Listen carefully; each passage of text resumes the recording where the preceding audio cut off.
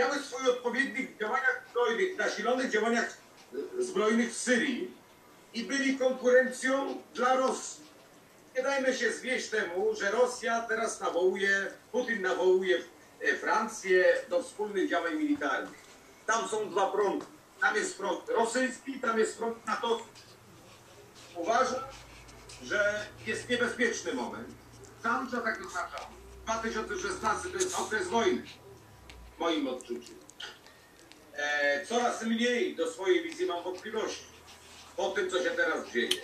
Po uchodźcach, po tych zamachach w Paryżu. Obawiam się, że do zamachów jeszcze dojdzie. Lub jakichkolwiek innych prowokacji. Mam odczucie, że może być coś, jakieś zatrucie w Europie, które będzie też uznane jako zamach. Południe Europy głosi, być może Londyn, być może jeszcze Paryż i być może Skandynawia. To się może sporadycznie posypać w niedługim czasie. Obawiam się jeszcze jednej rzeczy, że na północy Afryki lub na Bliskim Wschodzie może dojść do wybuchu broni, bomby, która będzie powodowała skażenie. Ja nie twierdzę, że będzie zaraz atom, ale na pewno się będzie mówiło już o skażeniu.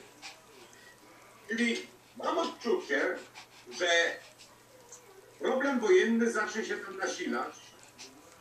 Coraz większy chaos w Europie. O co chodzi Amerykanów? Uważam, że stoimy w obliczu wojny, która się wydarzy w 2016 roku. Jest to wojna krocząca, wojna, która trwa już 3 lata. I że 2016 rok musimy do niego podejść bardzo ostrożnie.